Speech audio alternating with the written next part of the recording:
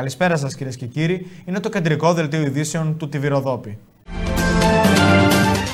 Για πολλωστή φορά ο Υπουργός Εξωτερικών της Τουρκίας, Μευλού Τσαβούσογλου, έκανε το άσπρο μαύρο, υποστηρίζοντας πως η Ελλάδα παραβιάζει τη συνθήκη της Λοζάνης και βασικά ανθρώπινα δικαιώματα όσον αφορά τη μουσουλμανική μειονότητα της Τράκης και σημείωσε σε ανάρτησή του. Δεν αφήσαμε ποτέ μόνο τους Τούρκους της Δυτικής Τράκης, δεν θα τους αφήσουμε ποτέ. Από την πλευρά του, το ελληνικό Υπουργείο Εξωτερικών αντέτεινε χαρακτηρίζοντας οξύμορο να εγκαλεί η Τουρκία την Ελλάδα για την μουσουλμανική μειονότητα στη Θράκη την ίδια στιγμή που η αδύρυτη αλήθεια των αριθμών ως προς τους εναπομείναντες της ελληνικής μειονότητας στην Κωνσταντινούπολη, την Ήμβρο και την Τένεδο καταδεικνύει με τον πιο περίτρανο τρόπο ποιος πραγματικά εφαρμόσει τη συνθήκη της Λοζάνης και ποιος ακολουθεί τη μειονοτική πολιτική η οποία σέβεται τα ανθρώπινα δικαιώματα.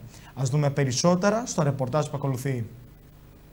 Για πολλωστή φορά, ο Υπουργός Εξωτερικών της Τουρκίας, Μευλούτ Τσαβούσογλου, έκανε το άσπρο μαύρο, υποστηρίζοντας πως η Ελλάδα παραβιάζει τη συνθήκη της Λοζάνης και βασικά ανθρώπινα δικαιώματα όσον αφορά τη μουσουλμανική μειονότητα της Τράκης, ενώ σημείωσε σε ανάρτησή του. Δεν αφήσαμε ποτέ μόνους τους τους Τούρκους της Δυτικής Τράκης. Δεν θα τους αφήσουμε ποτέ. Μάλιστα, ανήρτησε και λίστα με τις λεγόμενες παραβιάσεις που σύμφωνα με την Άγκυρα διαπράττει η Ελλάδα σε βάρος της μουσουλμανικής μειονότητας. Οι παραπάνω δηλώσει έρχονται σε μια περίοδο κατά την οποία η Άγκυρα κλιμακώνει τις απειλές της για εισβολή στα ελληνικά νησιά, με τον Τσαβούσογλου να αναφέρει πως σε περίπτωση που η Ελλάδα δεν αποστρατιωτικοποιήσει τα νησιά, τότε η Τουρκία είτε θα αφισβητήσει την κυριαρχία τους είτε θα έρθει ξαφνικά μία νύχτα ο Τούρκος Υπουργός Εξωτερικών έκανε τις παραπάνω δηλώσεις στην κοινή συνέντευξη τύπου με τον Ρουμάνο ομολογό του, ο οποίος ζήτησε τα προβλήματα των δύο χωρών να επιληθούν στη βάση του διαλόγου, αλλά με τον Υπουργό Εξωτερικών της Τουρκίας να επιμένει να κατηγορεί την Αθήνα. Ερωτώμενος δε για τις στρατιωτικές ασκήσεις που πραγματοποίησε η Ελλάδα σε Ρόδο και Λέσβο, ο Τσαβούσογλου υποστήριξε ότι η ελληνική πλευρά κάνει αρνητικά βήματα για την ασφάλειά μας παρά τις συνθήκες. Στρατιωτικοποιεί τα νησιά, κάνει και άλλα βήματα, επομένως δεν είναι δυνατόν να σιωπήσουμε εναντί αυτών. Δηλαδή η Ελλάδα είναι αυτή που παραβιάζει το καθεστώς αυτών των αποστρατιωτικοποιημένων νησιών. Είτε η Ελλάδα θα κάνει βήμα πίσω και θα τηρεί αυτές τις συνθήκες είτε θα κάνουμε ό,τι χρειάζεται. Αυτός είναι ο λόγος που ο αξιότιμος πρόεδρός μας λέει μπορούμε να έρθουμε μία νύχτα ξαφνικά. Το Υπουργείο Εξωτερικών της Ελλάδας σε ανακοίνωσή του σημειώνει πως η Τουρκία για μία ακόμη φορά διαστρεβλώνει την πραγματικότητα στη Θράκη επισημαίνει πως η Ελλάδα, μια σύγχρονη ευρωπαϊκή δημοκρατία, ακολουθεί μια συγκροτημένη μειονοτική πολιτική η οποία προάγει την ευημερία της μειονότητας. Μιας μειονότητας η οποία αριθμεί περί τα 120.000 μέλη, όσα δηλαδή και την περίοδο κατά την οποία υπεγράφει η συνθήκη της Λοζάνης, την οποία η Τουρκία συστηματικά επικαλείται ενώ τονίζει πως είναι απορίας άξιων πώς επικαλείται τη Λοζάνη και κάνει λόγο για παραβίασή της από την Ελλάδα τη στιγμή που στην Κωνσταντινούπολη, στην Ήμβρο και την Τένεδο η ελληνική μειονότητα αριθμεί λιγότερες από 3.000 ψυχές ενώ κατά την υπογραφή της συνθήκης αριθμούσε περί τις 130.000. Σημειώνει ακόμη πως την πραγματικότητα αυτή ήρθε πρόσφατα να μας θυμίσει και η δήλωση της Ευρωπαϊκής Ένωσης στο πλαίσιο της 77ης Γενικής Συνέλευσης του ΟΗΕ για τις παλαιότερες πολιτικές διακρίσεων που εφήρμοσε η Τουρκία, οι οποίες είχαν ως αποτέλεσμα η ελληνική μειονότητα στην Τουρκία να βρίσκεται σήμερα στα πρόθυρα της εξαφάνισης. Η δήλωση μιλάει από μόνη της όπως και οι αριθμοί μιλούν από μόνοι τους και καταδεικνύουν με τον πιο περίτρανο τρόπο ποιος πραγματικά εφαρμόζει τη συνθήκη της Λοζάνης και ποιος ακολουθεί μια μειονοτική πολιτική η οποία σέβεται τα ανθρώπινα δικαιώματα.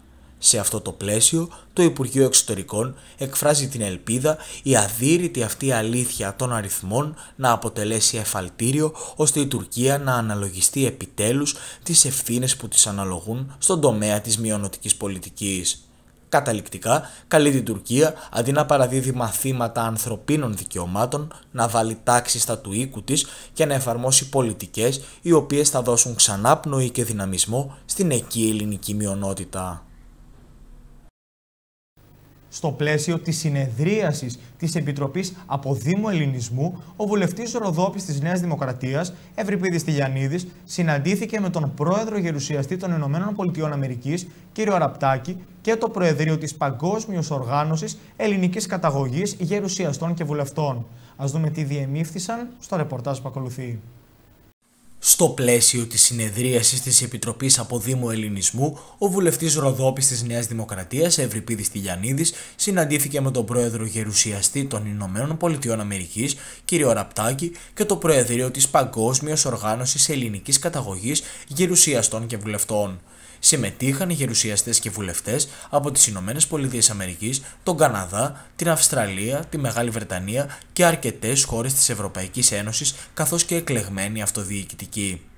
Ο Ευρυπίδης Τηλιανίδης, μετά από μια εμπεριστατωμένη ομιλία όπου διέκρινε τη σημασία των συνταγματικών ενιών κράτος, έθνος, λαός και ανέλησε τη σημασία τους και το ρόλο που καλούνται να διαδραματίσουν σε κάθε επίπεδο, πρότεινε να ξεκινήσει με συντονισμό της Κοινοβουλευτικής Επιτροπής Αποδήμων υπό την Προεδρία του Βουλευτή Β Θεσσαλονίκης Σάβα Αναστασιάδη, κύκλος συναντήσεων στο Κοινοβούλιο μεταξύ ελληνικών κοινοτήτων του εξωτερικού με αντίστοιχους πολιτιστικούς συλλόγους και οντότητες του εσωτερικού, ώστε να υπάρξει αμφίδρομη ενημέρωση και αδελφοποιήσεις που θα ενισχύσουν τους δεσμούς με τους εκτός Ελλάδας Έλληνες καθώς και την εξωστρέφεια της χώρας μας.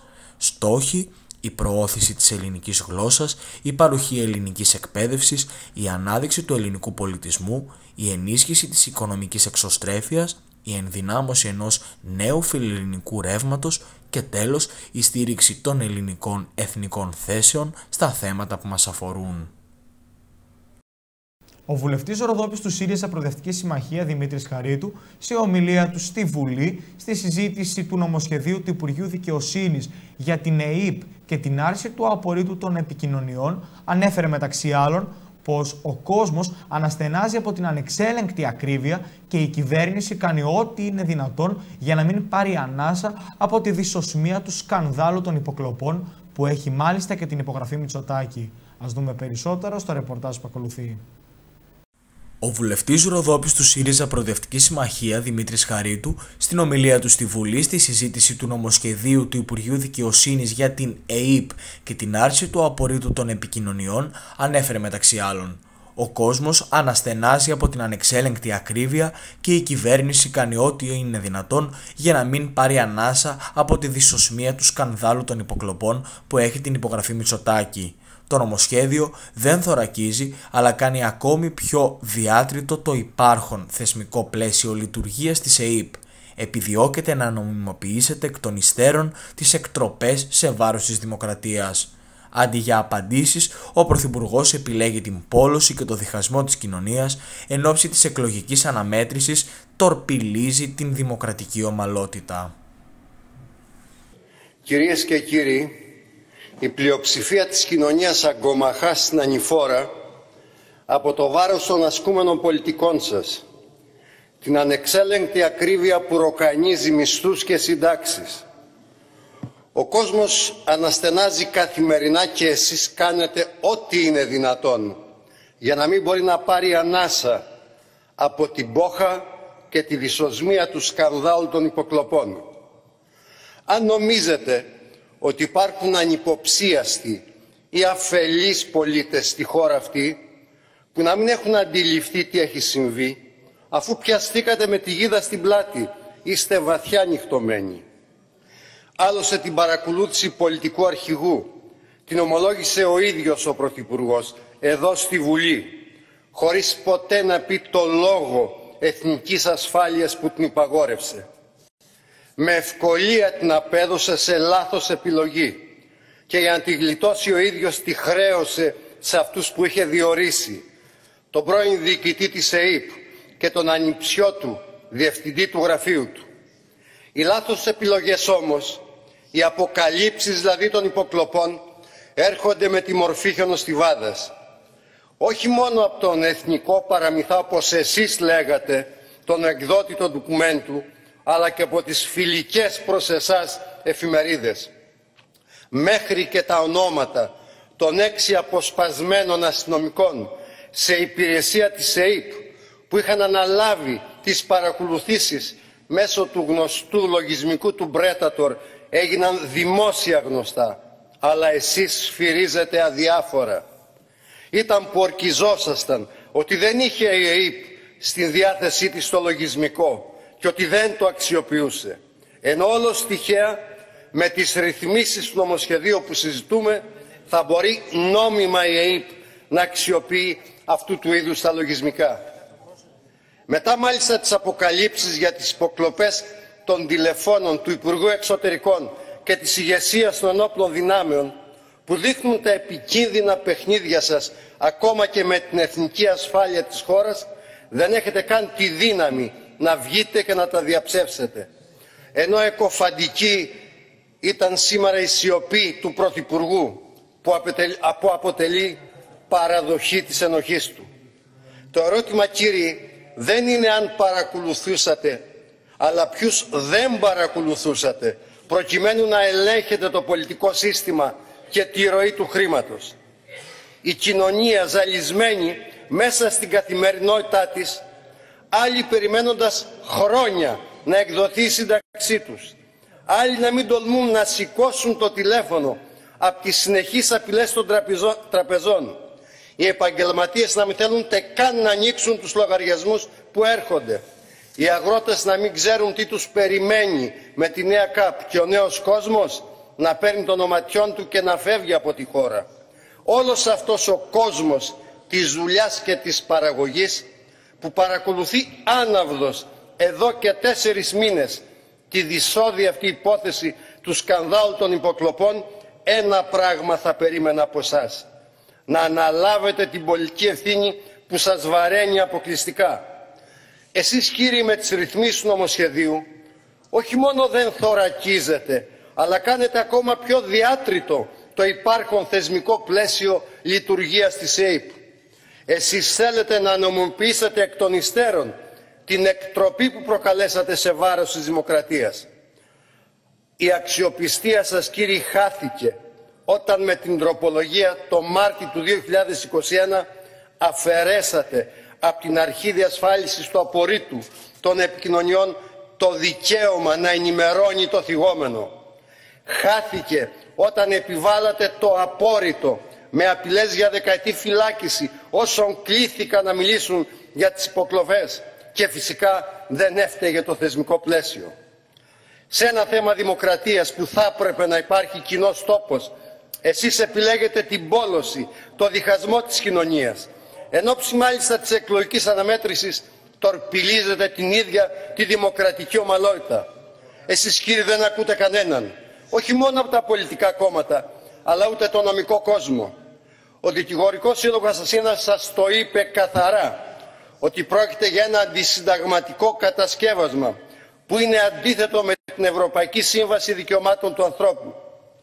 Πρόεδρος Ανεξάρτητης Αρχής σας είπε ανοιχτά ότι οι ρυθμίσεις σας στερούν δικαιώματα πέρα από αυτά που επιτρέπονται από την ομολογία του Ευρωπαϊκού Δικαστηρίου Ανθρωπίνων Δικαιωμάτων. Στο πιο κρίσιμο ζήτημα κύριοι, που είναι η έλλειψη αιτιολογίας στην άρση του απορρίτου των επικοινωνιών για λόγους εθνικής ασφάλειας, εσείς κρύβετε το όνομα του προσώπου και μένει μόνο ένας αριθμός τηλεφώνου. Τι να ελέγξει η ΑΔΑΕ, αφού δεν γνωρίζει το πρόσωπο και το λόγο άρσης του απορρίτου. Γι' αυτό και ο πρόεδρος της αρχής σας κατήγγειλε ότι την έχετε μετατρέψει σε διακοσμητικό στοιχείο. Ισχυρίζεστε ότι βάλατε ένα πρόσθετο φίλτρο ελέγχου το δεύτερο εισαγγελέα. Πολύ εύστοχα ένας εξαίρετος νομικός το καυτηρίασε λέγοντας ότι μια ανετιολόγητη εισαγγελική διάταξη άρσης απορρίτου δεν θεραπεύεται από μια άλλη ανετιολόγητη έγκρισή της. Κυρίες και κύριοι, με τη ρύθμιση να γνωστοποιείται μετά τα τρία χρόνια η άρση του απορρίτου σε συνδυασμό με τη ρύθμιση εντός έξι μηνών από τη λήξη της αγγελικής απόφασης να διαγράφεται αυτόματα το πληροφοριακό υλικό, ο υποπαρακολούθηση πολίτης ποτέ μα ποτέ δεν θα μάθει το λόγο, ούτε θα γνωρίζει τι έχει καταγραφεί για τον ίδιο, τις οικογενειακές του στιγμές, τις στιγμές με τα παιδιά του και τους φίλους του. Κυρίες και κύριοι, υλοποιείτε αντιλαϊκές πολιτικές. Τέτοιες μεθόδους διακυβέρνησης χρειάζεστε. Παρακολούθησης και ελέγχου της πολιτικής και οικονομικής ζωής της χώρας. Η δυσοσμία των υποκλοπών είναι η άλλη όψη του ίδιου όμως νομίσματος των πολιτικών Μητσοτάκη που έχει γονατίσει την κοινωνία. Σήμερα ψηφίζετε για να συγκαλύψετε τη βόμβα που βάζετε στα θεμέλια της δημοκρατίας. Πολύ πρόσφατα είχατε βάλει ανάλογη βόμβα στα θεμέλια του ΕΣΥ. Προηγήθηκαν αυτές που βάλατε σε εργασιακές σχέσεις, στη δημόσια παιδεία, στη δημόσια κοινωνική ασφάλιση. Έχετε μετατρέψει τη χώρα σε ένα μεγάλο ναρκοπαίδιο. Να είστε σίγουροι ότι όλες αυτές τις βραδιφλεγείς βόμβες θα κληθεί να απενεργοποιήσει μια νέα προοδευτική κυβέρνηση. Και δεν είναι μακριά. Πλησιάζει η ώρα αυτή. Την Τετάρτη 7 Δεκεμβρίου τέθηκε προς ψήφιση το τεχνικό πρόγραμμα του Δήμου Κομωτινής για το οικονομικό έτος 2023. Ω προς τη διαδικασία που έλαβε χώρα, το κλίμα εν γέννη της συνεδρίασης και τα αποτελέσματα της ψηφοφορίας, θα μας ενημερώσει ο Αντιδήμαρχος Τεχνικών Έργων του Δήμου Κομωτινής, ο κ. Καρασταύρου Δημήτριος, τον οποίο και καλωσορίζουμε. Καλησπέρα σας, κύριε Καρασταύρου. Καλησπέρα και εσάς, καλησπέρα και στους τηλεθεατές. Θέλουμε να μας πείτε αρχικά ποια ήταν αυτά τα αποτελέσματα της ψηφοφορίας. Θέσαμε προ ψήφιση στο Δημοτικό Συμβούλιο το τεχνικό πρόγραμμα του Δήμου Κομωτινής για το έτος 2023 ένα τεχνικό πρόγραμμα της τάξης των 60 εκατομμυρίων ευρώ, ε, το μεγαλύτερο τεχνικό πρόγραμμα που έχει υποβληθεί ποτέ από το Δήμο Κομωτινής, αλλά δεν είναι τόσο σημαντικό ο προπολογισμό του τεχνικού προγράμματος όσο η ουσία του, διότι περιέχει έργα ε, της τάξης των 30 εκατομμυρίων ευρώ, που είναι έργα που έχουν εγκεκριμένη χρηματοδότηση μέσα από τα διάφορα προγράμματα ε, της Ευρωπαϊκής Ένωσης. Πριν περάσουμε στα ζητήματα της χρηματοδότησης, γιατί θα σας τα ρωτήσουμε ξεχωριστά αυτά, τα αποτελέσματα ποια ήταν, εν τέλει υπερψηφίστηκε αυτό το τεχνικό πρόγραμμα; Βεβαίως, υπερψηφίστηκε το τεχνικό πρόγραμμα από την παράταξη τη δική μας, από την ε, παράταξη της κυρίας Λαυτσή και από την παράταξη του κυρίου Καραΐσκου, ε, αναφέρουμε στους επικεφαλής. Ε, απήχε ο, η παράταξη του κυρίου Γραβάνη και καταψήφισε ο κύριος ε, Λεβέντης. Μάλιστα. Πείτε μας τώρα, ποια, ήταν τα, ποια έργα περιλαμβάνονται στο τεχνικό πρόγραμμα του Δήμου Κομωτινής για το ερχόμενο οικονομικό έτος; Κοιτάξτε, κάθε φορά καταρτίζουμε το τεχνικό πρόγραμμα του Δήμου για την επόμενη χρονιά, συμπεριλαμβανομένου κάποια έργα τα οποία είμαστε υποχρεωμένοι να τα βάζουμε σαν τίτλους, αλλά και σαν ουσία μέσα στο πρόγραμμα. Διότι αφορά τόσο τις μελέτες όσο και τα έργα. Δεν θα αναφερθώ τόσο στις μελέτες, οι οποίες είναι κάποιες μεγάλες μελέτες χρηματοδοτούμενες που βρίσκονται, άλλες υλοποιήθηκαν και άλλες βρίσκονται στη διαγωνιστική διαδικασία. Το τοπικό χωρικό, το οποίο είναι ένα, μια μεγάλη μελέτη 1.200.000 ευρώ, το ειδικό χωρικό για τη μετακατάσταση στο Ρωμά, το ΣΒΑ κτλ. Θα αναφερθώ όμως περισσότερο στα έργα. Τα έργα μπορούμε να τα χωρίσουμε σε δύο βασικές ε, κατηγορίες, όπου είναι τα έργα που γίνονται με ίδιους πόρους και τα έργα τα συγχρηματοδοτούμενα. Τα έργα που γίνονται με ίδιους πόρους είναι μια τάξη μεγέθους ε, γύρω στα 8 με 9 εκατομμύρια ευρώ, που ο Δήμος Κομωτινής κάθε χρόνο βάζει από τον προπολογισμό του προκειμένου να κρατήσει τις υποδομές της, ε, του Δήμου μας. Και όταν αναφέρουμε σε υποδομές ε, μιλάμε για τους κοινόχρηστους χώρους, τις πλατείες, τα διδακτήρια, τα κτίρια ε, που είναι ευθύνη του Δήμου Κομωτινής, τους αγροτικούς δρόμους, εσωτερικές ειδοποιίες της πόλης και των οικισμών, ένα σύνολο παρεμβάσεων που κάνουμε προκειμένου να βελτιώσουμε τις εφιστάμενες υποδομές να λύσουμε προβλήματα που υπάρχουν τόσο στα πεζοδρόμια όσο στον οδοφωτισμό, στα κτίρια, στα σχολεία μας, ε, όπου είναι αναγκαίες υποδομές, ε, παρεμβάσεις που πρέπει να κάνουμε, προκειμένου να, τις, ε, να κρατήσουμε έτσι αυτές τις υποδομές όσο το δυνατόν καλύτερα σε λειτουργικές. Εξυπηρετούν επί της ουσίας την καθημερινότητα. Την καθημερινότητα. Αυτό ήθελα να πω. Να σας πω όμως εδώ ότι τα αιτήματα που έχουμε ε, για, αυτούς, ε, για αυτές τις παρεμβάσεις είναι πολλαπλάσια του προπολογισμού. Δηλαδή, όταν μιλάμε για τις παρεμβάσεις μας στις υποδομές των ε, ε, κτηρίων που αφορούν την παιδεία, τα σχολικά μας κτίρια δηλαδή, ε, βάζουμε, βάζουμε κάθε χρόνο ένα εκατομμύριο ευρώ. Μόνο τα αιτήματα που έχουν καταγεγραμμένα ξεπερνούν τα 2 εκατομμύρια. Οι πραγματικές ανάγκες είναι πολύ, πολύ πολλαπλάσιες. Καταλαβαίνετε ότι δεν υπάρχουν χρήματα προκειμένου να λύσουμε όλα αυτά τα προβλήματα.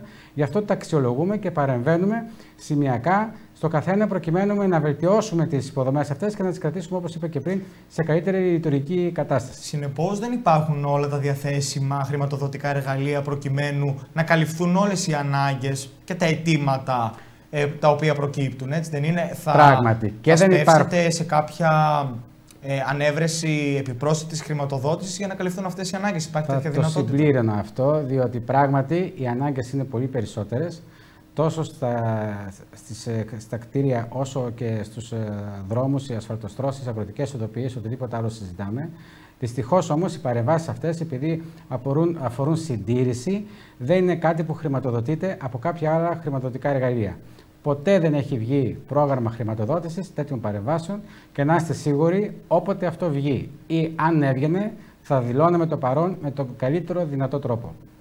Έτσι λοιπόν, η πλειάδα των έργων που γίνεται με ίδιους πόρους είναι το ποσό που σας ανέφερα γύρω στα 8 εκατομμύρια, το οποίο κάθε χρόνο υλοποιείται. Κάθε χρόνο δηλαδή ο Δήμος Κουμωτινής υλοποιεί έργα των 8 εκατομμύριων ευρώ ε, από ίδιους πόρους. Ίσως να μην τα βλέπουν οι συμπολίτε μας, διότι γίνονται τα έργα αυτά σε 40 οικισμούς και στο σύνολο της πόλης. Είναι όμως σημειακέ παρεμβάσεις που βελτιώνουν την κατάσταση σε ένα σημείο, σε πολλά, ε, μάλλον βελτιώνουν την κατάσταση σε πολλά σημεία και είναι αναγνωρίσιμα από αυτούς που κάνουν χρήση στα σημεία αυτά. Μάλιστα. Ας περάσουμε τώρα σε πιο εξειδικευμένες λεπτομέρειες ως προς το κλίμα της προχθεσινής συνεδρίασης. Σε τι κλίμα έλαβε χώρα η συνεδρίαση; Και εξειδικεύω κιόλας αυτό το ερώτημα γιατί ε, ο επικεφαλής της ε, μείζωνος αντιπολίτευσης, ο κ. Γραβάνης, σας κατηγόρησε ως Δημοτική Αρχή πως κάθε χρόνο εντάσσεται στο τεχνικό πρόγραμμα τα ίδια έργα και δεν υλοποιείται έργα ούτε 2 εκατομμυρίων ευρώ. Αυτό έρχεται σε αντίθεση με τη δήλωσή σας μόλις τώρα ότι υλοποιείται έργα 8 εκατομμυρίων ευρώ κάθε χρόνο. Λοιπόν, Τι να ξε- απαντάτε σε αυτό; Να ξεκαθαρίσουμε τα πράγματα. Είναι ολοφάνερο από το τεχνικό μας πρόγραμμα ότι ο Δήμος ε, Κομωτινής υλοποιεί έργα πάνω από 8 εκατομμύρια ευρώ ε, κάθε χρόνο. Ε, ο κύριος Γραβάνης δεν αναφέρεται σε αυτά και το ξεκαθάρισε.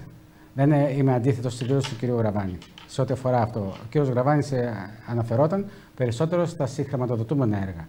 Είναι τα έργα τα οποία ε, δεν αναφέρθηκα, είναι η δεύτερη κατηγορία των έργων που έχει το τεχνικό μας πρόγραμμα, που είναι έργα τα οποία γίνονται με χρήματα της Ευρωπαϊκής Ένωσης. Είναι έργα με τα οποία η τεχνική υπηρεσία του Δήμου Κομωτινής, με τις προτάσεις που υποβάλλει σε διάφορες προσκλήσεις, φέρνει χρήματα στο τόπο και με αυτόν τον τρόπο υλοποιεί έργα με χρήματα της Ευρωπαϊκής Ένωσης. Και αυτό σας ε, ε, πήγα να σας αναφέρω πριν, ότι είναι πρώτη φορά που ο Δήμος Κομωτινής στο τεχνικό του πρόγραμμα έχει έργα της τάξης των 30 εκατομμυρίων ευρώ που είναι ενταγμένα σε διάφορα χρηματοδοτικά προγράμματα, είτε στο ΠΕΠ της Ανατολικής Μακεδονίας Τράκης, είτε στο ημιπερά, είτε στο το πρόγραμμα Αντώνης Τρίτσης, είτε στο πρόγραμμα Φιλόδημος, είτε στο Ταμείο Ανάκαμψης. Αυτά τα έργα έχουν εξασφαλισμένη χρηματοδότηση και κάποια αυτά, από αυτά ξεκίνησε, η υλοποίηση- ε, ξεκίνησε να έχουμε ε, αναδόχους και θα ξεκινήσει δηλαδή άμεσα η υλοποίησή τους και τα περισσότερα βρίσκονται στο στάδιο της δημοπράτησης. Πάνω σε αυτά, ο κ. Γραβάνης αναφέρθηκε ότι δεν έχουμε ολοκληρώσει κανένα έργο. Να, να δείξουμε σε Τα αυτή- τελευταία τα- τέσσερα τα τελευταία χρόνια. τέσσερα λοιπόν, χρόνια. Σωστά. Ακόμη και ο πιο απλός πολίτης καταλαβαίνει, αντιλαμβάνεται ότι αν ξεκινήσει να κάνει ένα σπίτι που θα στοιχήσει γύρω στις 200-300.000 ευρώ, θέλει κάποια χρόνια προκειμένου να τα υλοποιήσει. Εδώ μιλάμε για κάποια έργα που σας ανέφερα πριν, μια πλειάδα μάλλον έργων, που αγγίζουν τα 30 εκατομμύρια ευρώ. Εγώ μέσα στο Δημοτικό Συμβούλιο έκανα μια άλλη αντιπαράθεση για να γίνω πιο κατανοητός. Αναφέρθηκα στις αστικές παρεμβάσεις που κάνουμε σ- σε αναπλάσεις και σε κτηριακές υποδομές στο κέντρο, στο εμπορικό κέντρο της πόλης. Μιλάμε για την ανάπλαση της περιοχής της πρώην νομικής, μιλάμε για την ανάπλαση 22 δρόμων που έχουμε εγκεκριμένο στο Ταμείο Ανάκαμψης, μιλάμε για την ανάπλαση της δημοτικής αγοράς, μιλάμε για την ανάπλαση, ε, για την κατασκευή ενός κλειστού γυμναστηρίου που βρίσκεται στο χώρο του πρώτου γυμνασίου και για το έργο που υλοποιείται τώρα η πολιτιστική διαδρομή. Αυτά αν τα μαζέψουμε έχουν ένα προπολογισμό 14,5 εκατομμύρια ευρώ. Και πώς μπορούμε αυτό τώρα να το συγκρίνουμε αν πραγματικά πάμε γρήγορα ή πάμε αργά σε σχέση με αυτά που λέει ο κ. Γραβάνης.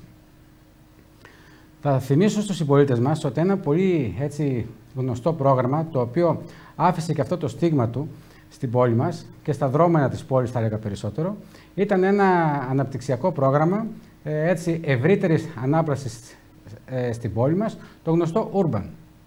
Το πρόγραμμα αυτό είχε προϋπολογισμό 12,5 εκατομμυρίων ευρώ. Το πρόγραμμα αυτό ξεκίνησε το 2000 και ολοκληρώθηκε το 2011. Δηλαδή, για να ολοκληρωθεί ένα πρόγραμμα πάρα πολύ γνωστό που έχει αστικές αναπλάσεις, με μεγάλη εμβέλεια και κτηριακές υποδομές. Όπως είναι το αντίστοιχο πρόγραμμα της παρέμβασης που έχουμε στο εμπορικό κέντρο που σας ανέφερα πριν, που είναι όμως 14,5 εκατομμυρίων ευρώ, χρειάστηκε 11 χρόνια. Εμείς βρισκόμαστε στα πρώτα τρία χρόνια αυτής της προσπάθειας που από το 0 ξεκίνησε στις αρχές του 2020 και είμαστε στην στιγμή όπου δημοπρατούμε όλα αυτά τα έργα και μέσα στο 2023 αυτά τα έργα που σας ανέφερα μαζί με τα υπόλοιπα συνολικά που αγγίζουν τα 30 εκατομμύρια ευρώ το 2023 θα υλοποιούνται. Πότε ο Δήμος είχε άλλη φορά αυτή τη δυνατότητα να φτάσει τόσο κοντά στην υλοποίηση τόσο μεγάλων αναπτυξιακών έργων. Σε τόσο μικρό χρονικό Σε τόσο διάστημα. μικρό πράγματι χρονικό διάστημα και σε τέτοιο μεγάλο προπολογισμό που ξεπερνάει δύο ούρμπαν μαζί. Αν τα βάλουμε κάτω. Απήντησα λοιπόν με κάθε λεπτομέρεια. Φυσικά δεν περίμενα να γίνει αποδεκτό από την αντιπολίτευση. Αυτός είναι ο ρόλος του καθενός μας μέσα στο Δημοτικό Συμβούλιο. Παρ' όλα αυτά, εμείς είμαστε υποχρεωμένοι να λέμε τις λεπτομέρειες και τις συνθήκες κάτω στις οποίες λειτουργούμε, διότι θα πρέπει να κατανοήσουμε ότι και υπάρχει και μια ποιοτική διαφορά. Διότι μιλάμε ότι λειτουργούμε σε συνθήκε COVID, ε, συνθήκες ενεργειακής κρίσης, με ό,τι αυτό σημαίνει για τα δημόσια αέρια και τα προβλήματα που μπορούν να υπάρξουν και υπάρχουν για την υλοποίησή τους, αλλά και σε με μια υποστελεχωμένη ε, τεχνική υπηρεσία με πέντε μηχανικούς, σε αντίθεση με μια τεχνική υπηρεσία του Δήμου Κομωτής που κάποια στιγμή μαζί με την ΤΙΔ είχαμε έτσι πληθώρο μηχανικό που μπορούσε να, να λειτουργήσει πολύ πιο δυναμικά. Το χρονοδιάγραμμα ε, παράδοσης ωστόσο αυτών των έργων για τους δημότες μπορεί να προσδιοριστεί αυτή τη στιγμή; Γιατί Ναι. τον ε, κάθε δημότη δεν τον ενδιαφέρουν, έχω την εντύπωση, όλα αυτά, τα, το αν υπάρχουν χρηματοδοτικά εργαλεία, το αν εντάσσονται τα προγράμματα, οι διαγωνιστικές διαδικασίες, αλλά το πότε θα το δει αυτό στην καθημερινότητά του το κάθε πρόγραμμα. Μπορείτε Εδώ να θα μας μου, προσδιορίσετε. κάνετε, θα μου επιτρέψετε λίγο να διαφωνήσω. Τον κάθε δημότη Όχι θα μόνο, πρέπει, τουλάχιστον. θα πρέπει να τον ενδιαφέρει ε, για την προσπάθεια που γίνεται προκειμένου να φτάσουμε σε ένα σημείο το Δήμο Κομωτινής να έχει τη δυνατότητα να υλοποιήσει τέτοια έργα. Πολλές φορές στην, με, μας μένει η εικόνα αυτού που κόβει την κορδέλα. Όμως, τις περισσότερες φορές, αυτοί που ρίξαν την πραγματική εργασία, αυτοί που πραγματικά προσπαθήσαν, κοπιάσαν και αυτοί που διαβήκαν έναν δρόμο πολλές φορές είναι και μοναχικός, ε, είναι άλλοι από αυτοί που κόβουν την κορδέλα. Λοιπόν, είπα και πριν, αυτή τη στιγμή ο Δήμος Κουμωτινής υλοποιεί ένα τεχνικό πρόγραμμα που είναι σχεδόν δύο ούρμπαν μαζί. Παρόλα αυτά και παρόλες τις συνθήκες, είμαστε σε θέση να πούμε ότι τα έργα αυτά μέσα στο 2023 θα αρχίσουν να κατασκευάζονται διότι έχουν όλα εγκεκριμένη χρηματοδότηση, τα περισσότερα βρίσκονται ήδη σε διαγωνιστική διαδικασία και έχουμε και προσωρινούς αναδόχους και κάποια τα δημοπρατούμε. ε, Τώρα είμαστε έτοιμοι για δημοπράτηση χωρίς να έχουμε κολλήματα. Έχουμε όλες τις αδειοδοτήσεις και έχουμε όλες τις εγκρίσεις. Το ότι έχουμε φτάσει σε αυτό το σημείο να έχουμε αυτή την όποια καθυστέρηση μπορεί να θεωρήσει κάποιος είναι διότι είμαστε πέντε μηχανικοί στη τεχνική υπηρεσία και πρέπει να δρομολογήσουμε τα πράγματα ώστε να τα καταφέρουμε όλα μαζί. Και να δημοπρατούμε τα έργα και να ελέγχουμε αυτά που γίνεται με τις επιβλέψει που είμαστε υποχρεωμένοι να κάνουμε, αλλά και να απαντάμε και στις νέες προσκλήσεις για νέες υποβολές, νέα έργα, σε ό,τι βγαίνει μπροστά μας και να διερευνούμε ή να δημιουργούμε από μόνοι μας νέες προσκλήσεις προκειμένου να αντλήσουμε μεγαλύτερες χρηματοδοτήσεις για την πόλη μας, για τους οικισμούς, γενικά για το Δήμο Κομωτινής. Από ό,τι αντιλαμβανόμαστε, ένα από τα κυρία προβλήματα από αυτά που μας λέτε είναι και το ζήτημα της υποστελέχωσης τεχνικής υπηρεσίας. Ε, μπορεί να γίνει κάτι ε, προκειμένου, έχετε απευθύνει κάποιο αίτημα προς αρμόδιους φορείς για να αρθεί αυτή το καθεστώς υποστελέχωσης και να προσληφθούν περισσότερα άτομα για να ε, παραδίδονται αυτά τα έργα στους δημότες πρωτίστως. Ε, είναι ένα πάγιο αίτημα των Δήμων και γίνονται παρεμβάσεις μέσω της ΣΚΕΔΕ προκειμένου οι τεχνικές υπηρεσίες των Δήμων και οι υπηρεσίες δόμησης των Δήμων, που και εκεί υπάρχει μεγάλη προστελέχωση, να στελεχωθούν με τεχνικό προσωπικό προκειμένου όλες αυτές οι διαδικασίες να γίνονται πολύ πιο σύντομα και πολύ ενδεχομένως και πιο σωστά. Ε, ήδη μας έχουν εγκριθεί από τις 10 νομίζω θέσεις που ζητήσαμε, τρεις μέσω ΑΣΕΠ ένας διαγωνισμός που είχε προηγηθεί και περιμένουμε τους μηχανικούς οι οποίοι έπρεπε ήδη να βρίσκονται στις θέσεις τους.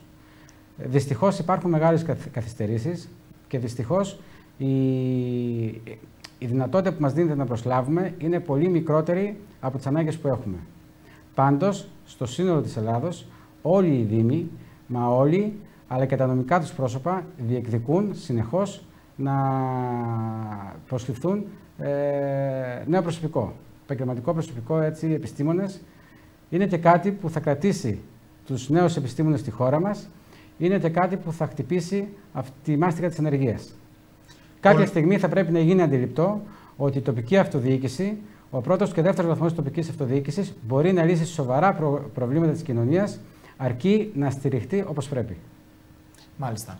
Ε, κύριε Καρασταύρου, ε, έχετε κάποια άλλα έργα τα οποία δεσμεύεστε να υλοποιήσετε το επόμενο διάστημα, τα οποία δεν μας έχετε αναφέρει μέχρι στιγμής; Ε, η αλήθεια είναι ότι όσα έργα και να έχουμε εντάξει, ποτέ δεν θα σταματάμε να, να διεκδικούμε καινούρια. Ε, αναφέρθηκα και στο Τεχνικό Συμβούλιο κατά τη συζήτηση του στη διαδικασία αυτή ότι εκτός από τα έργα τα οποία έχουμε ενταγμένα στο πρόγραμμά μας υπάρχουν και έργα τα οποία έχουμε απόλυτο οριμότητα αλλά δεν έτυχαν ακόμη χρηματοδότησης.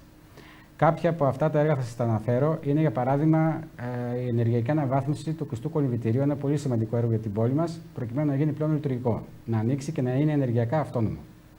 Το έχουμε υποβάλει στο πρόγραμμα Ελέκτρα. Είναι ένα έργο της τάξης των 3 εκατομμύριων ευρώ. Πιστεύω να τύχει τη χρηματοδότηση που του αξίζει αυτό το έργο και να το δούμε και αυτό μέσα στο 2023 να παίρνει σάρκα και οστά. Είναι έργα που έχουν να κάνουν με την οδική ασφάλεια, αγροτικές οδοποιίες, έργα που τα έχουμε υποβάλει στο πρόγραμμα Αντώνης Τρίτσι, έργα που τα έχουμε υποβάλει στο Ταμείο Ανάκριψη, για παράδειγμα, ο οδοφωτισμός της ΖΕΠ, ο περιμετρικός ε, δρόμος ε, του οικισμού της Αιγύρου. Ε, μιλάμε για έργα τα οποία έχουν απόλυτη οριμότητα και είναι η κατασκευή δύο νηπιαγωγείων του πρώτου και του εντέκατου. Ε, έχουμε την, ένα έτοιμο έργο της ενεργειακής αναβάθμισης του πρώτου γυμναστηρίου, Αυτά που σας έχω αναφέρει πριν είναι γύρω στα άλλα 10 εκατομμύρια τα οποία ε, έχουν απόλυτη οριμότητα και ετοιμότητα και κάποιοι ήδη έχουν υποβληθεί και περιμένουν την ένταξή τους. Από εκεί και πέρα ξεκινήσαμε το σχεδιασμό και άλλων έργων. Θα σας πω δύο-τρία μόνο που είναι σημαντικά και θα αφήσουν το στίγμα στην πόλη εφόσον και αυτά προχωρήσουν. Είναι η ανάπληση των εγκατελειμμένων παλιών σφαγιών της πόλης μας. Ένας χώρος ο οποίος, εάν ολοκληρωθεί, θα αποκτήσει έτσι με μια πολύ λειτουργική, θα δώσει μια υπεραξία στην περιοχή που υπάρχει, που βρίσκεται. Ε, όπως επίσης είναι και τα ΒΑ, τα οποία είναι μεγάλες αστικές αναπλάσεις που πρόκειται να υλοποιηθούν ε, στην τρέχουσα προγραμματική περίοδο. Ένα έργο το οποίο το δικαιούται ο Δήμος Κομωτινής. Ε, θα έλεγα ότι και αυτό έχει κατά κάποιο τρόπο εξασφαλισμένη χρηματοδότηση, ένα έργο της τάξης των 14 εκατομμύριων ευρώ από ό,τι θυμάμαι. Και ένα τελευταίο είναι μια παρέμβαση που εδώ και καιρό έχουμε ξεκινήσει και θέλουμε να την κάνουμε. Ευελπιστούμε ότι μέσα στο 2023 θα μπορέσουμε να την υποβάλουμε σε κάποια πρόσκληση. Είναι η παρέμβαση στο παραλιακό μας μέτωπο. Μιλάμε για την περιοχή που βρίσκεται από το κάμπινγκ, από το φανάρι μέχρι την αρρωγή. Να συνεχίσουμε αυτόν τον πεζόδρομο τέλος πάντων που μας έχει αφήσει η Μητελή η ΕΤΑΔ. Να συνεχίσουμε μια σοβαρή ανάπλαση από τη μεριά του Δήμου Κομωτινής και από την απέναντι μεριά του δρόμου που είναι η, θέση στάθμευσης, ε, αλλά και να παρεύουμε και στα οικοδομικά τετράγωνα που βρίσκονται ε, κατά μήκος του δρόμου αυτού από την επέκταση του οικισμού της αρρωγής. Οικοδομικά τετράγωνα που είναι χαρακτηρισμένα σαν πλατείες, παιδικές χαρές, αναψυκτήρια, τουρισμός, αθλοπαιδείε, όπου θα αλλάξουν και το παραλιακό μέτωπο του Δήμου μας και θα του δώσουν μια τέτοια δυναμική ε, που έτσι πραγματικά δεν έχουμε ξαναδεί. Είναι όμως έργα τα οποία πράγματι βρίσκονται σε ένα πρώτο σχεδιασμό τώρα ε, και είναι έργα τα οποία αυτή τη στιγμή ξεκινάει η, η μελέτη τους προκειμένου να αποκτήσουν σάρκα και οστά και να έχουμε μια ετοιμότητα να τα υποβάλουμε σε κάποια αντίστοιχη πρόσκληση που θα βγει από οποιοδήποτε χρηματοδοτικό εργαλείο. Μάλιστα. Τέλος, θα ήθελα να σας θέσω ένα ακόμη ερώτημα. Σε όσους ε, ισχυρίζονται πως το τεχνικό πρόγραμμα του Δήμου Κομωτινής δεν ανταποκρίνεται στις ανάγκες των δημοτών. Τι απαντάτε; Μάλλον δεν το έχουν διαβάσει. Δεν μπορώ να πω κάτι περισσότερο ούτε κάτι λιγότερο.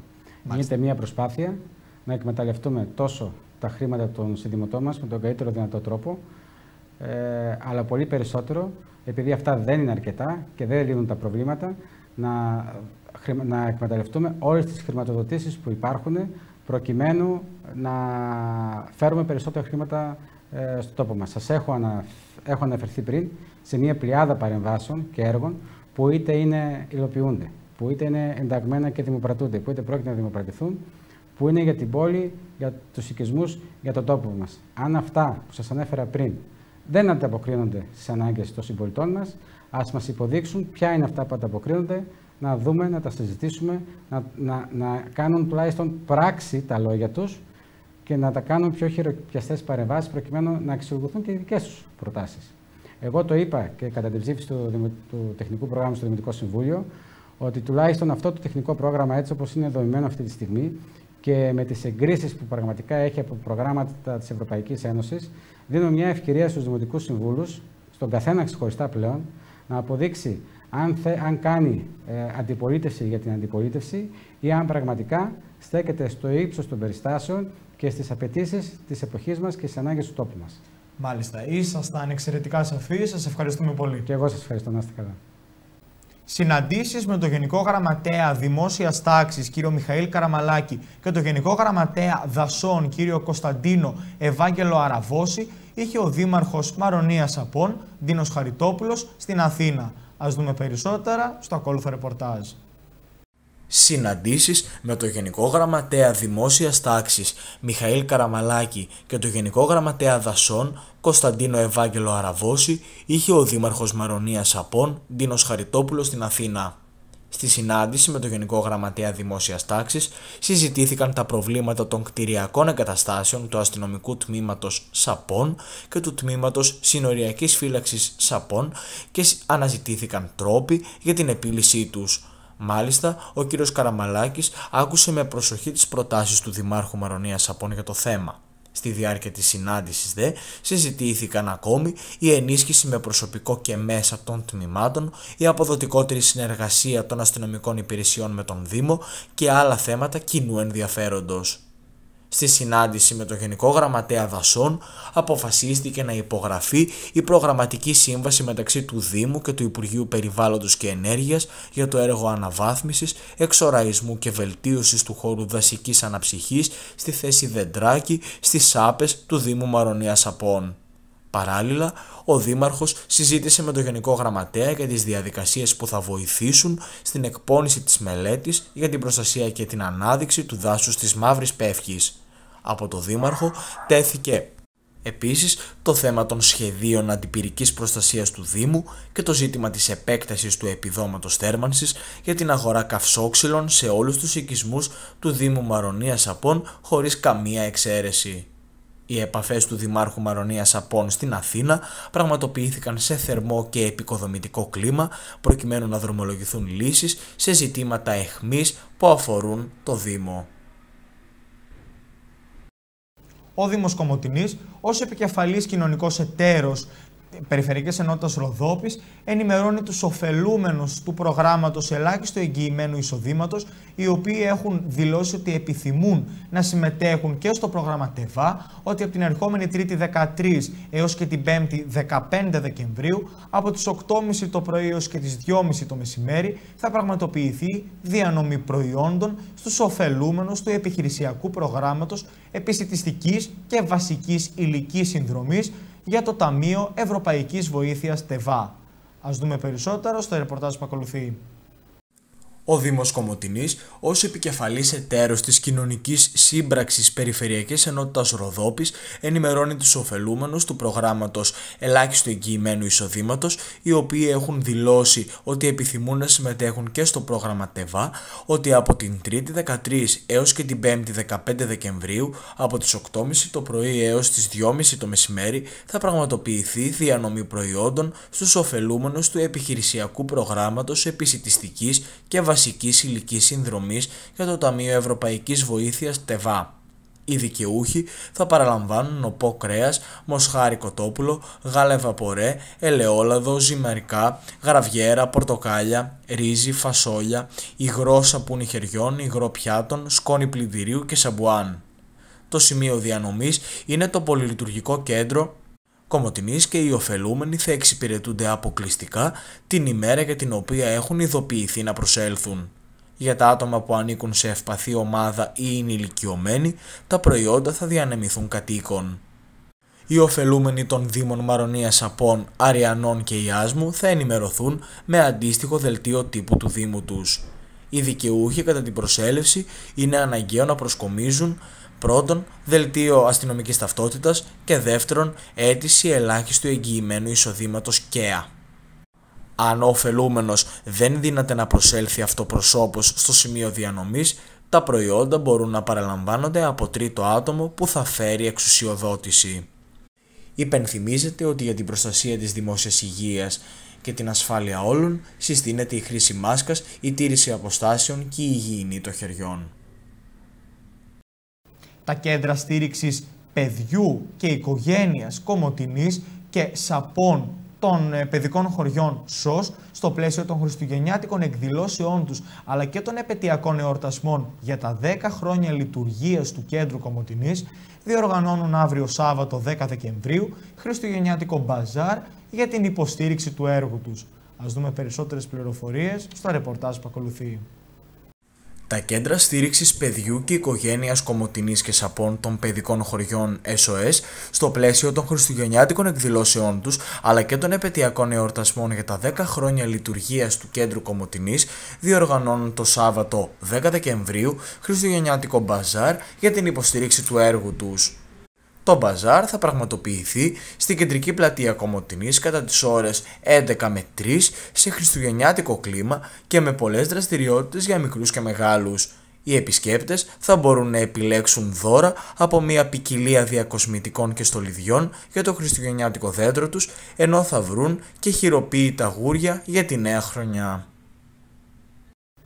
Η Δημοτική Κοινοφελής Επιχείρηση Πολιτισμού, Παιδείας και Αθλητισμού του Δήμου Κομωτινής ανακοινώνει ότι λόγω των επικείμενων καιρικών φαινομένων το πρόγραμμα των πολιτιστικών εκδηλώσεων που επρόκειτο να γίνουν αύριο Σάββατο 10 Δεκεμβρίου στα πλαίσια του Σάνταραν μεταφέρονται και την ερχόμενη Τρίτη 13 Δεκεμβρίου σύμφωνα με το πρόγραμμα που ακολουθεί στο παρακάτω βίντεο. Η Δημοτική Κοινοφελής Επιχείρηση Πολιτισμού, Παιδείας και Αθλητισμού Κομωτινής ανακοινώνει ότι λόγω των επικείμενων καιρικών φαινομένων το πρόγραμμα των πολιτιστικών εκδηλώσεων που επρόκειτο να γίνουν αύριο Σάββατο 10 Δεκεμβρίου στα πλαίσια του Σανταράν μεταφέρονται και την ερχόμενη Τρίτη 13 Δεκεμβρίου σύμφωνα με το παρακάτω πρόγραμμα. Στις 6 ώρα το απόγευμα θα γίνει η συγκέντρωση και η εκκίνηση από το πάρκο της Αγίας Παρασκευής. Στις 7 η ώρα θα γίνει το άναμα του Χριστουγεννιάτικου δέντρου της πόλης από το δήμαρχο κύριο Γιάννη Καράνη στην πλατεία Ειρήνης. Ενώ αμέσως μετά, στις 7.30 ώρα το απόγευμα, θα ακολουθήσει συναυλία με το συγκρότημα Μπαίλτσα. Κόκκινη κλωστή δεμένη, τυλιγμένη στο πάρκο της Αγίας Παρασκευής στην Κομωτινή. Το παραμύθι του Πινόκιο ξετυλίγεται από τις 12 Δεκεμβρίου του τρέχοντος έτους μέχρι και τις 2 Ιανουαρίου του 2023. Ας δούμε περισσότερες πληροφορίες στο ρεπορτάζ που ακολουθεί. Κόκκινη κλωστή δεμένη τυλιγμένη στο πάρκο της Αγίας Παρασκευής στην Κομωτινή. Το παραμύθι του Πινόκιο ξετυλίγεται από τις 12 Δεκεμβρίου μέχρι τις 2 Ιανουαρίου του νέου έτους. Η αγαπημένη μαριονέτα που ονειρεύτηκε να γίνει πραγματικό αγόρι και τα κατάφερε, ζωντανεύει για μικρούς και μεγάλους φίλους των παραμυθιών. Ο Δήμος Κομωτινής επέλεξε για τις φετινές γιορτές να δημιουργήσει στο φιλόξενο πάρκο της πόλης μια μικρή παραμυθοχώρα όπου οι γνωστοί ήρωες του Ιταλού συγγραφέα Κάρλο Κολόντι μας παίρνουν από το χέρι και μας οδηγούν στη χώρα της φαντασίας. Ο Πινόκιο με συνοδοιπόρους τον Τζεπέτο, τον Γρίλο και τη γαλάζια νεράιδα περιμένει τους φίλους του από όλη τη Βόρεια Ελλάδα για να μοιραστούν τα μυστικά του μαγικού παραμυθιού. Οι επισκέπτες έχουν τη δυνατότητα με ελεύθερη είσοδο να περιηγηθούν σε 24 ώρη βάση, καθώς επίσης σε συγκεκριμένες ώρες της ημέρας να ξαναγηθούν από τα σκανδαλιάρικα καλά εκπαιδευμένα ξωτικά.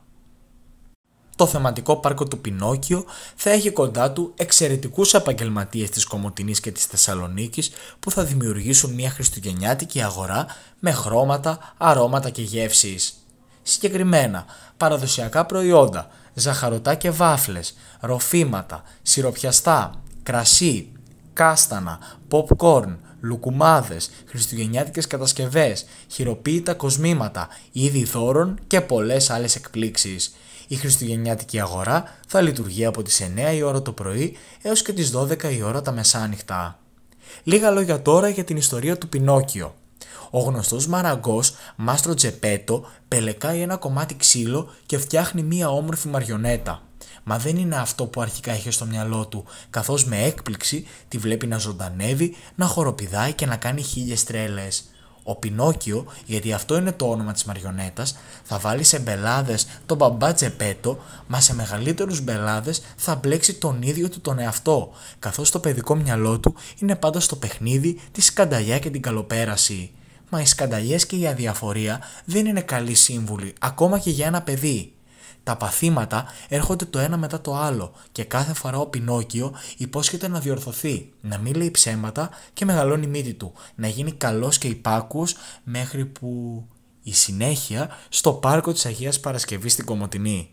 Μέσα από την ιστορία της μαριονέτας ξεδιπλώνεται ένας μαγικός κόσμος που θα συναρπάσει και θα συγκινήσει και ίσως μας δείξει τον τρόπο να ξαναγίνουμε παιδιά χρησιμοποιώντας θετικά τις εμπειρίες της ζωής. Στο σημείο αυτό, ας δούμε τις ειδήσεις από την αστυνομική μας επικαιρότητα. Συνελήφθησαν σε οικισμό της Ροδόπης από αστυνομικούς του τμήματος συνοριακής φύλαξης ΣΑΠΟΝ της Διεύθυνσης Αστυνομίας Ροδόπης δύο αλλοδαποί διακινητές οι οποίοι εμπλέκονται σε υπόθεση μεταφοράς μη νόμιμων μεταναστών.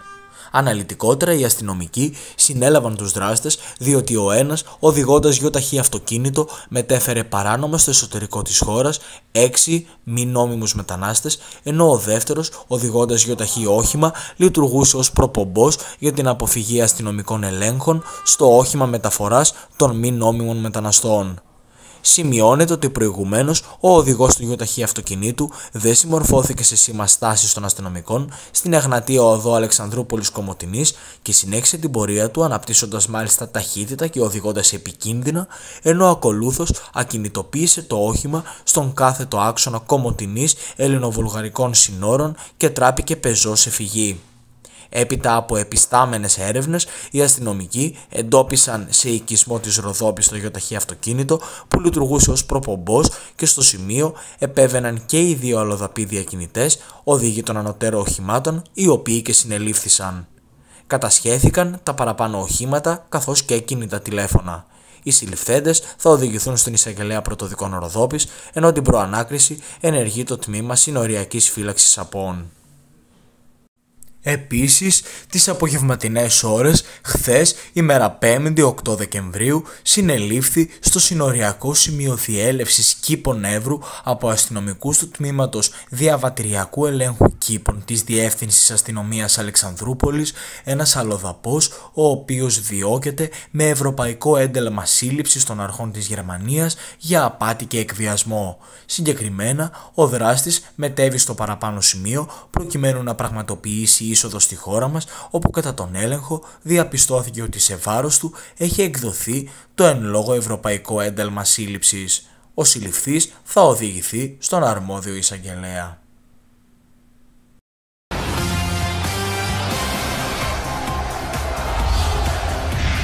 Στο σημείο αυτό θα δούμε την αθλητική μας ενημέρωση. Για το πρωτάθλημα ποδοσφαίρου της τρίτης εθνικής κατηγορίας και την έκτη αγωνιστική ημέρα το σπουδαιότερο παιχνίδι της αγωνιστικής γίνεται στην Κομωτινή με τον Πανθρακικό να υποδέχεται την Κυριακή στις 3 η ώρα το μεσημέρι τον Ναό Καβάλας. Οι άλλοι αγώνες έχουν ως εξής. Βύρον Καβάλας, Αλεξανδρούπολη. Νέστος Χρυσούπολης, Δόξα Δράμας. Ορφάνη Άβατο. Ορφέας Ξάνθης, Αγροτικός Αστέρας.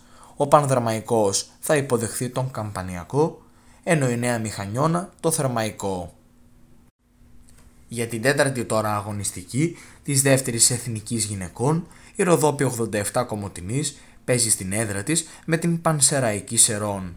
Οι άλλες αγώνες είναι Μέντεκας Καλαμαριάς Βέρεια, Δόξα 2016 Βόλος, ενώ τα Γρεβενά θα υποδεχθούν τις Βασίλισσες Ξάνθης όσον αφορά την 8η αγωνιστική, η οποία διεξάγεται στα πρωταθλήματα της πρώτης και δεύτερης κατηγορίας της Ευστράκης. Οι αγώνες στην πρώτη κατηγορία είναι οι εξής.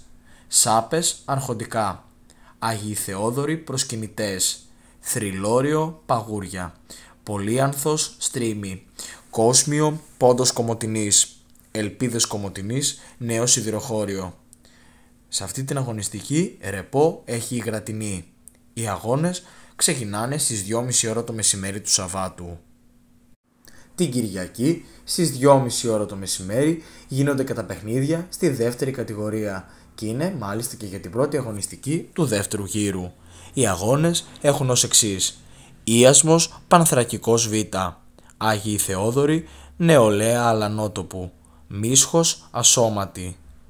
Σε αυτή την αγωνιστική ρεπό έχουν τα αμάραντα. Για το πρωτάθλημα τώρα βόλεϊ ανδρών της Α2 εθνικής κατηγορίας και την 7η αγωνιστική, το Σάββατο διεξάγεται στην Αλεξανδρούπολη το μεγάλο γειτονικό ντέρμπι Εθνικού Αλεξανδρούπολης ΑΕ Κομωτινής δύο ομάδων που πριν λίγα χρόνια αγωνίζονταν στην Volley League και δικαιολογημένα τραβάει το ενδιαφέρον όλων των φίλων του βόλεϊ στους νομούς Ροδόπης και Εύρου. Στη βαθμολογία να υπενθυμίσουμε πως ο Εθνικός είναι πρώτος ενώ η ΑΕ Κομωτινής βρίσκεται στην τρίτη θέση στο πρωτάθλημα μπάσκετ ανδρών της τρίτης εθνικής κατηγορίας και στο ντέρμπι κορυφής, η ομάδα του ΓΑΣ Κομωτινή υποδέχεται την Κυριακή στις 5 η ώρα το απόγευμα στο κλειστό της Κομωτινής τη δυνατή ομάδα των Βασιλικών Θεσσαλονίκης και στοχεύει σε μια ακόμη νίκη που θα την κρατήσει μάλιστα στην κορυφή του βαθμολογικού πίνακα. Στο σημείο αυτό θα δούμε τα εφημερεύοντα και διανεκτερεύοντα φαρμακεία για την πόλη της Κομωτινής.